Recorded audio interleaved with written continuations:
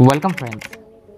हम सभी सब सफाई पर बहुत ध्यान देते हैं जैसे हेयर कटिंग करवाना हो या चाहे नेल कटिंग बट एक जो हम प्रमुख गलती करते हैं नेल कटिंग के दौरान कि हम अपने नाखून को ज़्यादा बेहतरीन एवं आकर्षित के लिए अपने नाखून की छली यानी क्यूटिकल को साफ करते हैं तो यही जो प्रमुख गलती हम करते हैं बार बार मालूम है क्यूटिकल जो है बहुत ही इम्पोर्टेंट रोल प्ले करता है जब नया नाखून उगता है उसको बैक्टीरिया से बचाए रखने का काम करता है सो so, ज़्यादा आकर्षित देखने के लिए ये गलती बार बार मत दोहराइएगा नहीं तो ज़्यादा साफ सफाई रखने पर भी पड़ेगा महंगा धन्यवाद